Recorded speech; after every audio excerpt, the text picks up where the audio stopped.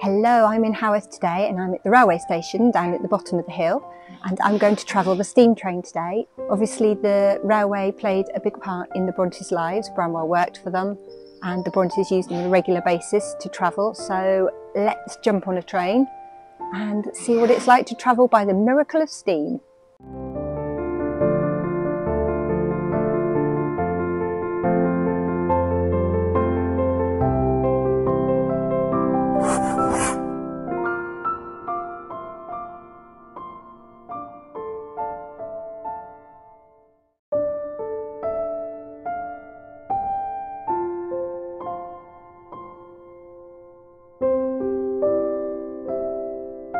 Haworth didn't get their own station until 1867, and it brought many tourists to this corner of Yorkshire to visit the parsonage and the village.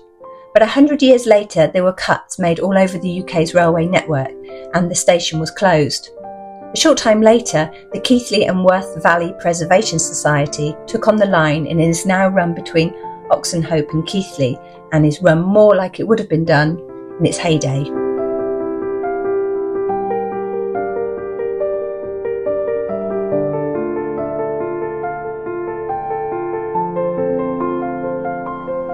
So I'm stood on the platform waiting for the train and I kind of feel really excited. I mean, it's crazy really. I mean, this would have been a norm for the Brontes to jump on a steam train to go here, there and everywhere. But for me, it's been a long time since I've been on a steam train.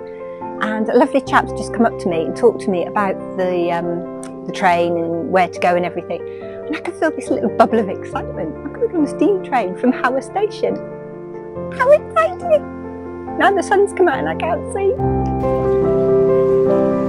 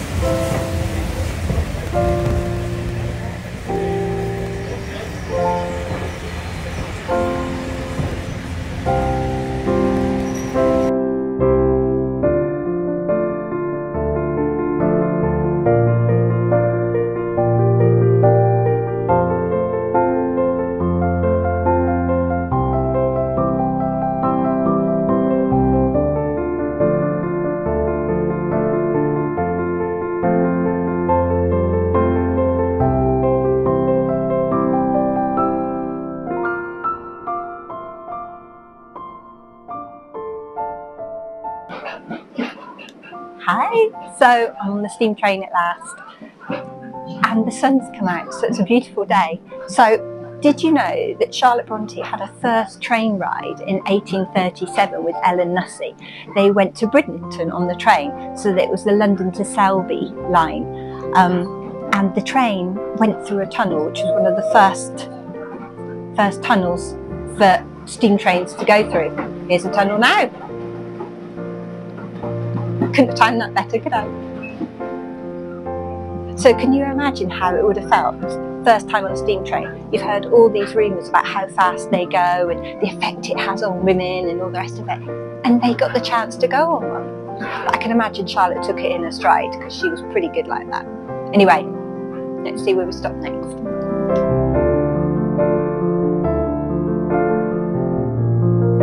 The other thing I forgot to mention is in Charlotte's time there would have been no platform. Um, so it was very much climb up and down and it wasn't very comfortable because a lot of the tracks were on stone so it was very bumpy and I can imagine very cold as well in the winter.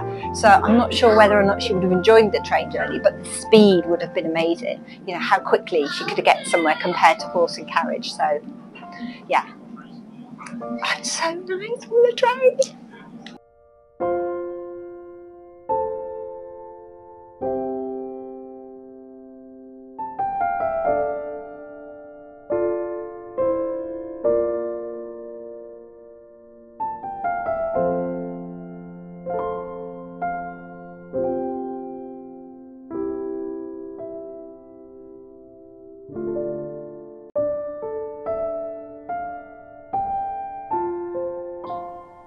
So I'm in Oakworth, which is the first stop down from Haworth on the way to Keighley.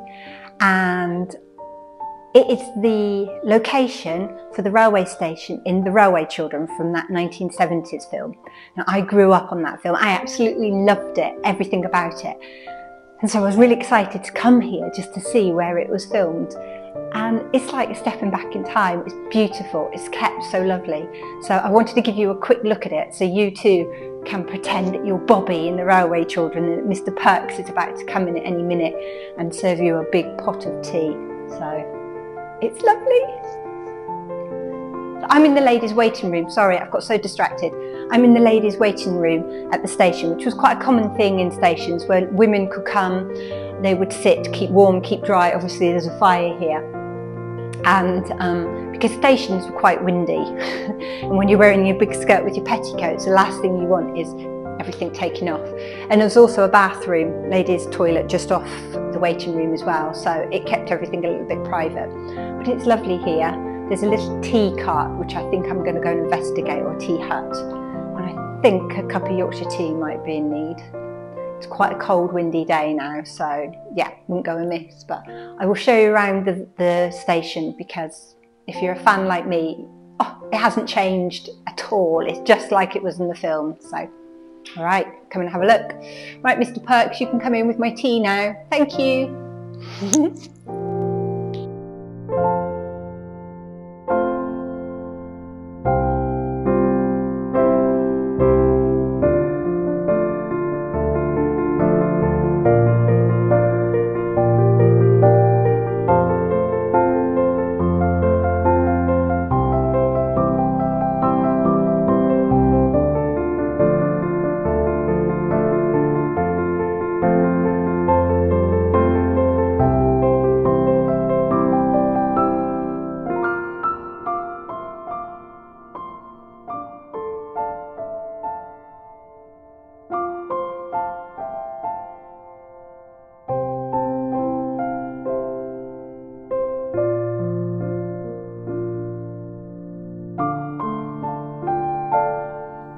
can't talk about the railway without touching on Branwell's connection to this new form of transport. In 1840, Branwell landed a job on the Manchester and Leeds Railway as an assistant clerk in charge at Sowerby Bridge Station, earning £75 per annum, which was paid quarterly.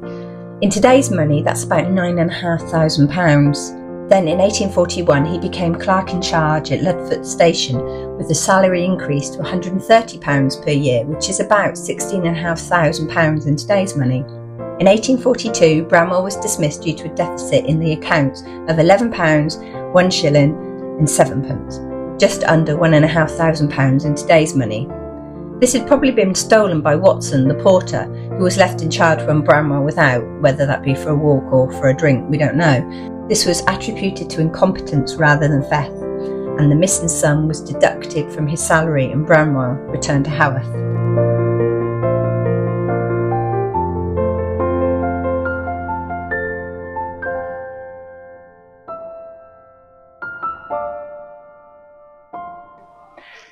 So I'm in Ingrow West, one of the stations um, along the railway line, um, one stop from Keighley. And I stopped into the museum and they have all these carriages from different periods in time. This one is about 1923, so far too late for the Brontes, but I feel quite glamorous in it. This is first class and you can see, you know, it's quite plush. I keep thinking of things like Murder on the Orient Express and things like that. So carriages would have been cold and noisy and of course you've got a door one side and the other side for different stations, different platforms, very similar to now but of course you couldn't travel along a corridor to get to the different carriages, you would come in one end, sit yourself down and head off again. So here I am in my carriage. Where shall I go?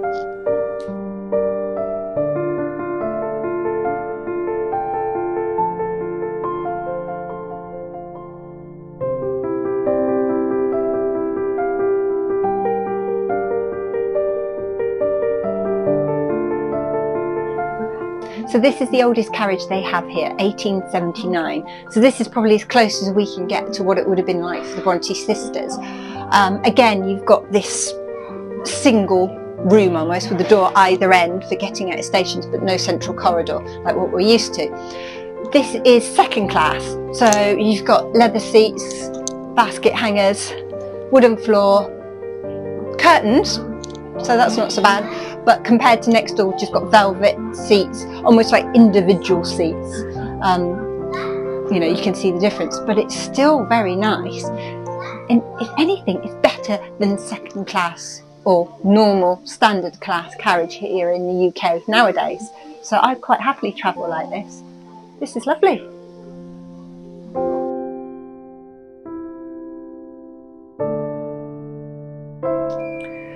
So I'm obviously in the carriage that best suits me because it matches my outfit. But this is first class from about um, 1898, so again, too late for the Brontes. But I could definitely travel like this. These beautiful armchairs, leather, bit of space. Again, it's the one room almost with the door either end for getting off at each station, no central corridor. But I quite like this idea. It's very private. Um, but of course it means you don't have anyone with any food or drink trolley coming through. Um, the other thing this first class little carriage has is its very own toilet. Um, I don't know if I like the idea of going to the loo literally right behind this person here, but um, you know, in an emergency, I could quite happily do this. And I must say, this toilet has a lovely view, plenty of space, and um, a pulley handle for flushing. So, you know, the railway certainly came a long way from those drafty old carriages at the beginning. So where should we go now? I'm thinking, let's join Charlotte and Ellen in Bridlington. And did you know this carriage only went out of use in 1950? Can you believe that? Bridlington, please, driver.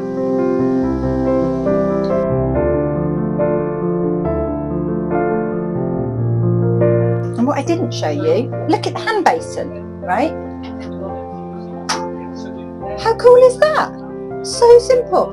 Water goes in, and as you tip it up, it tips down the drain. Gosh, us Brits were so good at innovation. I can't believe it. Brilliant.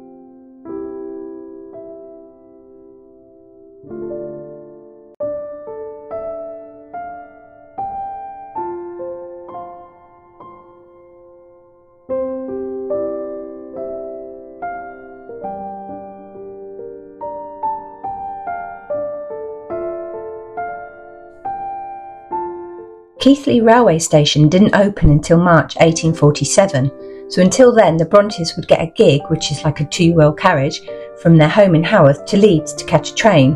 It would take about two hours to travel the approximate 20 miles in a gig from Haworth to Leeds, whereas the walk from Haworth to Keighley would take about an hour and a half. This new station gave them the independence and the freedom to travel.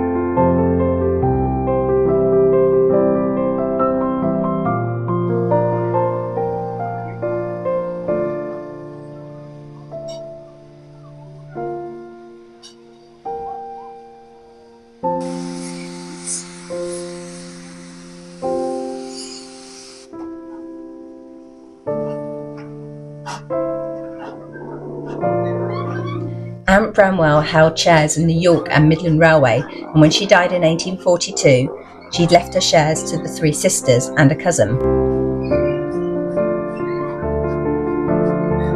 At the time, men had a better chance of making their own money, and their aunt was aware that her beloved nephew Branwell was able to do this. As an unmarried woman herself, she knew the sisters would need all the help they could get. In April 1845, Charlotte wrote, Emily has made herself mistress of the necessary degree of knowledge for conducting the matter by dint of careful reading every paragraph and every advertisement in the newspaper that relates to the railroads, and, as we have abstained from all gambling and all mere speculative buying in and selling out, we have got on very decently.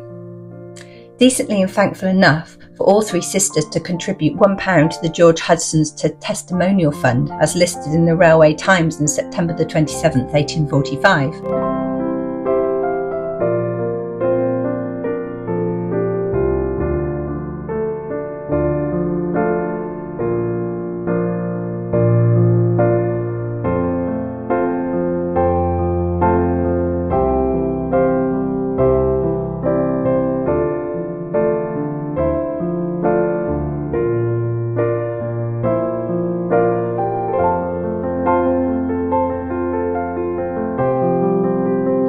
Bubble finally burst in 1846, it was Charlotte's publisher, George Smith, who ensured she avoided the worst problem of the crash.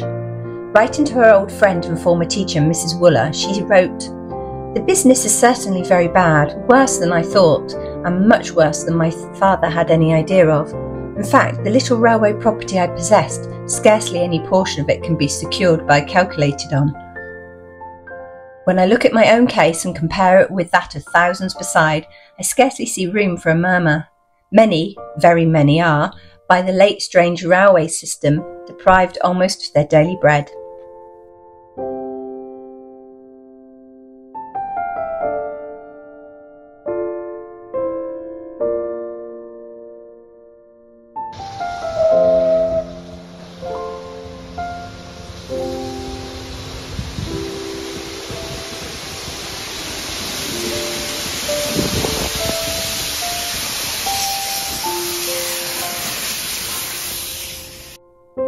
Not long after Charlotte's first train journey, Emily and Anne went to York on the train. York had started to become a go to destination for travellers with its shops, historic buildings, river, and, of course, the York Minster. They would have travelled from Leeds, and during this time, the York station was outside the city walls. It was in 1841 that the central station was opened, allowing tourists direct access into the city centre. Can you imagine how exciting this was for them? York must have seemed huge compared to Haworth.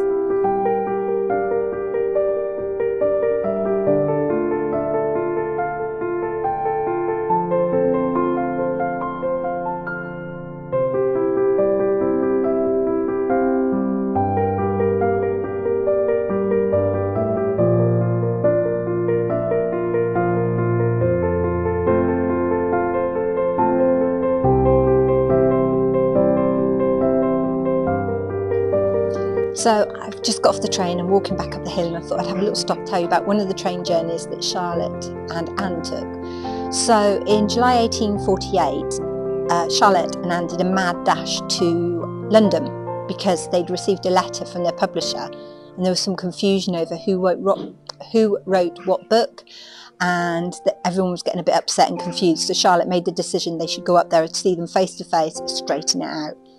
But of course, Emily didn't want to go, as we know. So Charlotte and Anne went from Keighley to Leeds on the second class train, or carriage, I should say, and then from Leeds to London via first class.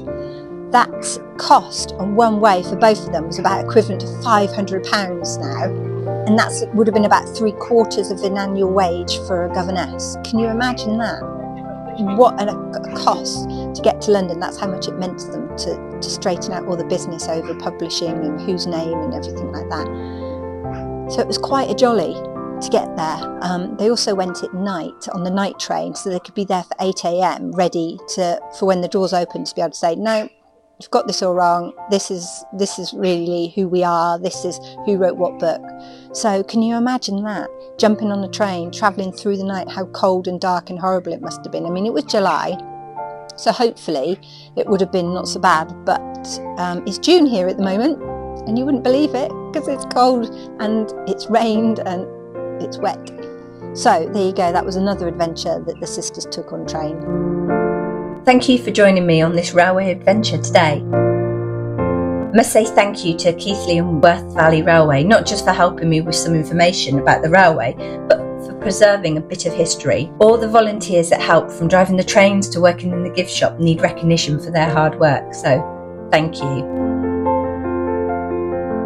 Um, I've put some information about them in the description below, so go and check it out. But also, I really recommend having a look at the live webcam of the trains going in and out of the stations. It kept me and my daughter entertained for ages. If you like today's video, please do the whole likey subscribey thing because it lets YouTube know we want to watch more Bronte content and it really does help me out. I'll see you next Friday for more Bronte adventures. Bye!